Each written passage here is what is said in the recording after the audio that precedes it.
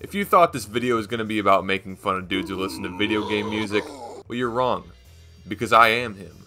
I admit it, because next to how it plays, one of the most important characteristics of a game is how it sounds. I find the process of making music for video games a lot more interesting because it's not always about just making something that sounds good, or even following a certain direction for sound. A composer's job is not an easy one. Well, you're telling me I gotta make a fitting soundtrack for this? And it's gotta be 15 tracks long, and it's gotta be fucking fire. But the most important consideration is does it fit with what I'm seeing on the screen? One of the most unnecessarily heated debates in video games with the Doom franchise. After Doom's revival in 2016, the franchise saw a major gameplay shift, which many people enjoyed, but a lot of purists did not. Fans of New Doom to this day are still being portrayed as soy-facing redditors.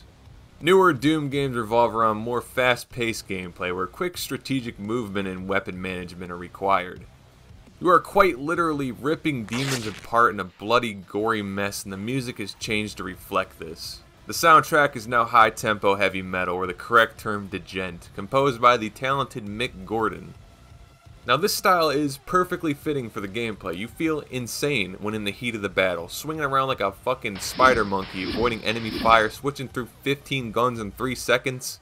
You feel cracked at the game, even if you're getting your ass kicked. You feel as powerful as Doom Guy himself, even though you're a fat ass loser from Ohio. Now Doom 1 and 2 soundtrack are much different. These songs are fucking iconic, they capture what the original Doom is all about boomer bait. I mean, it's hard to refute that when some of the tracks are literally MIDI versions of Slayer and Pantera songs. But getting real, Doom 1 and 2 share similar fast-paced run-and-gun combat, but are more level-centric and feel more streamlined. Unlike New Doom, which feels more like a spectacle with its environments and flashy combat. There's no lore shoved in your face, these are games you can replay levels going for higher score and finding secrets.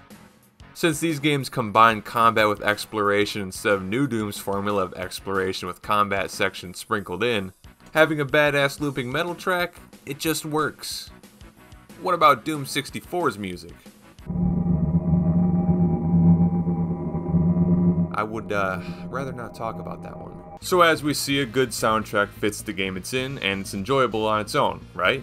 Well, of course, but let's be real. It doesn't matter how well Beverly Hill Cop on PC's theme fits when it causes actual pain to listen to.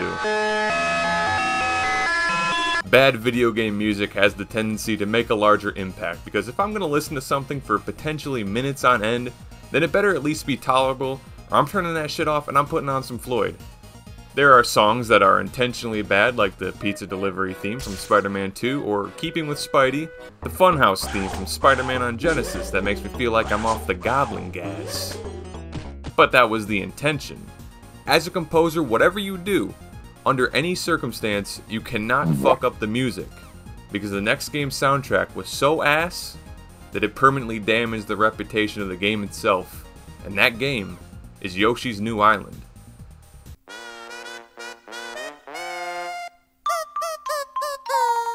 Dear God. Out of all the instruments they could have chosen to primarily feature, kazoo? The children's toy they give out to kids who didn't bite their dentist's finger.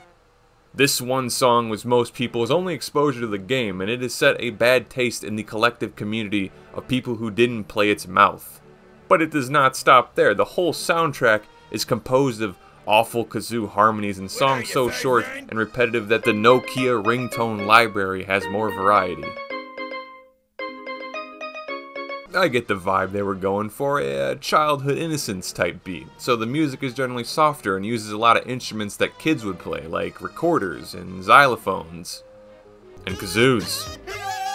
But I gotta ask myself, when is stylization going too far? If it actually ruins some of the enjoyment of the associated game, should we really be pushing this cutesy art style anymore? That seems to be the problem with many of the Yoshi games, especially in Crafted World where the soundtrack is somehow worse than New Island.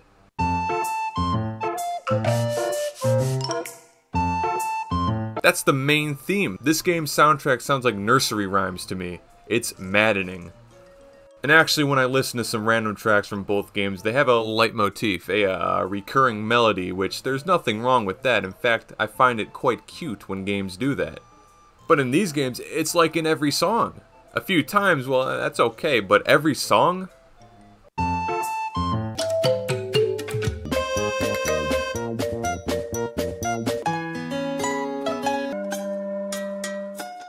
Shit's gonna be eating at your sanity like a brain-eating amoeba. You're gonna be writing the notation on the walls of your insane asylum, bro. I'd become the Joker playing this. I have not played New Island or Crafted World, but the general consensus is that they're mid. And hey, if they were going for the worst gaming experience of all time, they pretty much nailed it with the shitty music amplified by the mid gameplay. And that brings us to immersion. Every good game wants the player to feel a part of the world somehow, and unfortunately that leaves a lot of games sounding like this.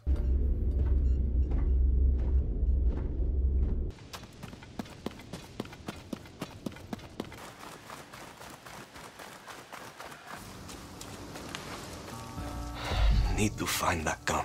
Man, it's really disappointing to play a newer game and hear nothing, or if there is music it sounds like a generic Marvel movie score.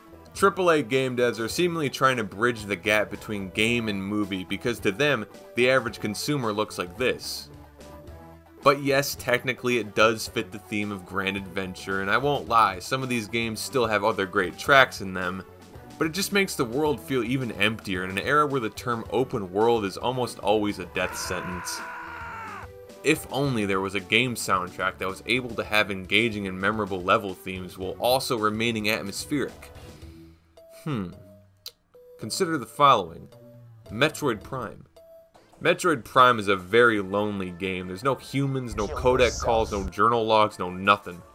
Samus doesn't even pull the protagonist trope of talking to herself like, Huh, better go upgrade my suit if I want to get through there. Nope, it's just you and your own company in an isolated foreign planet. Phendrana Drifts, a desolate, frozen over world of pure ice, has this beautiful piano soundtrack to accompany it.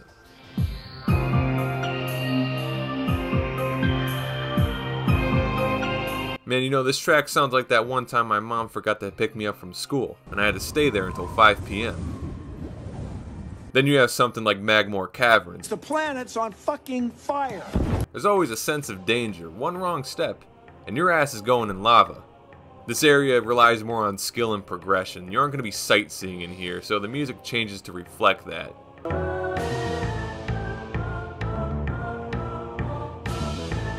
Man, Nintendo was really cooking with this franchise and they threw it all away to make baby games for a decade. They really had their own Halo there for a minute. Wait a minute, Halo! Halo is far less generous with its music. A lot of the game is played in ambience, but that just makes the moments where the music does kick in some of the most keynote moments in gaming history. Just take Halo 3's first mission. You start off falling from space and burning up in the atmosphere. Sergeant Johnson's all like, ah, this fucker's dead. No, he's very much alive. This sets up the tone for the series pretty well. Badass but elegant, and that's how I would describe the music. From the same mission you get the song Another Walk. The previous Halo games had their own walk theme too, but this one just feels right in the context of the Tanzania jungle.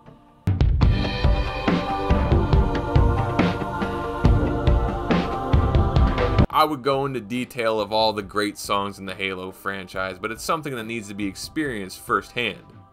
Listen to them at your own leisure, but doing that without playing the game is like using the Halo 2 Magnum. What are you fucking stupid? Nobody nails game soundtracks more than Rockstar. Not only do their games have some of the most fitting soundtracks, but they have some of the best soundtracks in gaming period.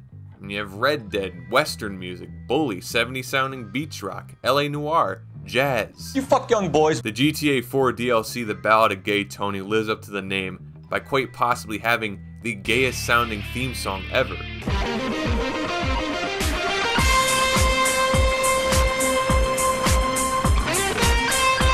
I know I've said this before, but it's important.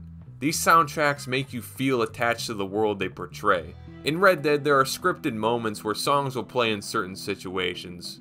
After you finish off the last of the Van der Linde gang, you're finally able to go home to see your wife and kid and humanized tumor that is Uncle. The ride back is accompanied by the song Compass by Jamie Lidell. This is one of the most emotional moments in the game for me, and all you do is ride a damn horse. Again, even as a fat ass loser from Ohio, I empathize with John. I feel a tremendous weight being taken off of my shoulders. It's rewarding, and for a second you feel a shred of hope that everything is gonna be okay.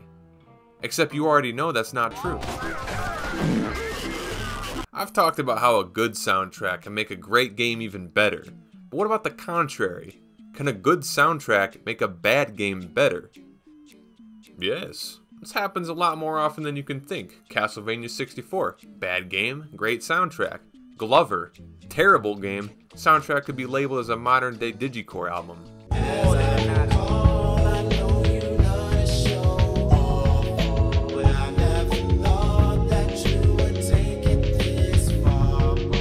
Crash Twinsanity, a completely broken and unfinished Crash game that has one of the most unique OSTs of any game. A completely a cappella soundtrack done by the band Spiralmouth. But the crowning victor of bad games with great soundtracks goes to Sonic the Hedgehog. I have tried time and time again to get into Sonic, but any game where this fucker isn't in two dimensions, it just feels like work. Even the quote unquote best of 3D Sonic, Watch out! You're gonna crash! Ah! I, I, I just I just can't Take this shit no more, man. But there is one thing I can always take away from a Sonic game, and that is a godly soundtrack.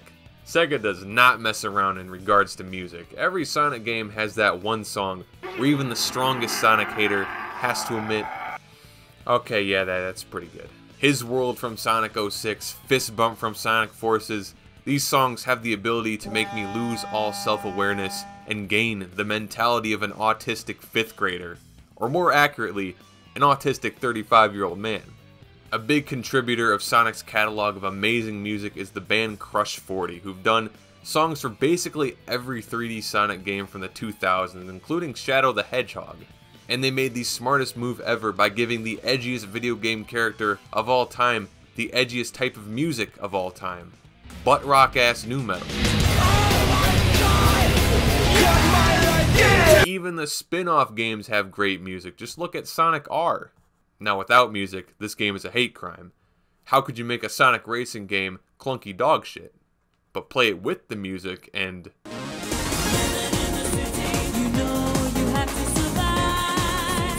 Sonic Speed! The second crowning victor of bad games with great music goes to the NES. Yep, just the NES, the whole oh thing. Oh my god. Let's be real, like 90% of the NES library is aged like your parents' 10 year old bottle of Thousand Island dressing that they refuse to throw away. Chalk it up to age and the fact that developers had to make games bullshit hard on purpose. The one thing that a lot of mediocre NES games have in common is a great soundtrack. And the savior of many shitty games from this era is the man Tim Follin. This guy is nothing short of a genius, and I mean it. He has abused and violated the NES sound chip so hard that I am surprised he dodged allegations. It's like how Seth MacFarlane has the singing voice that could rival Sinatra and he uses it on the Funny Family Dog. If you look at his discography, you can see he's credited to nothing but bad to mediocre games, and one of them is Solstice.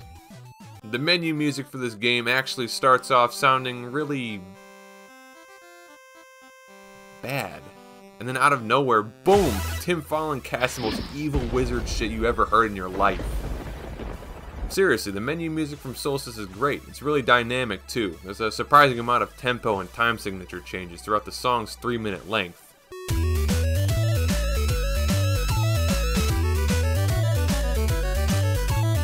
Silver Surfer, regarded as one of the hardest and most unfair games on the NES.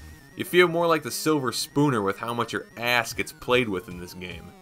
For a game that's unnecessarily hard with no real reward, you gotta have something that's enticing, and that would be its kick ass soundtrack.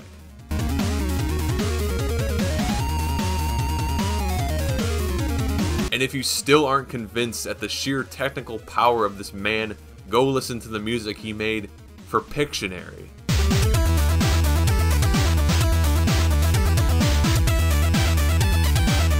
Family game night will never be the same, kids. We on some Blade Runner 25th anniversary director's cut type shit. As you can see, video game music can be surprisingly technical, What some composers do to make the experience even more immersive is creating an adaptive soundtrack. The song will be changed on the fly to a different rendition or new instruments will be added to the mix. This is done in response to what's happening in-game. Say you go underwater and the track becomes more peaceful, or you're on low health and the track becomes distorted to invoke panic, and an urge to find health because the sound is really annoying. The best application of dynamic music in my eyes is when it's done solely to make the player feel cool. Metal Gear Rising is probably the best example. Kojima once again flips the gaming industry on its head and proposes the question, what if video game music had lyrics? After you get to a certain point in the game's boss fights, lyrics will start to accompany the track.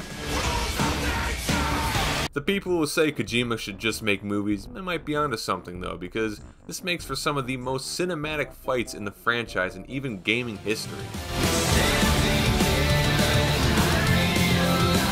And while adaptive soundtracks are complex and require a lot of work, there is a game that goes absolutely feral with that concept. The game with the most complex soundtrack of all time is Pikmin 2. Pikmin 2 has dynamic music, but isn't just two or three different renditions of a track. It is much more. Let's start with the area themes. There are four areas in the game, each of which has six different mixes. When an enemy is near, during combat, doing task, carrying treasure, near an ultra spicy plant, and during sunset. So right, that's four areas multiplied by six mixes, we got 24 different compositions. Alright, now taking the fact that swapping to the other captain, Louis, causes the music to follow a different rhythm. So actually, that's 48 compositions. But we have the other factors such as having low health, or taking damage, or when you have less than 10 Pikmin on the field.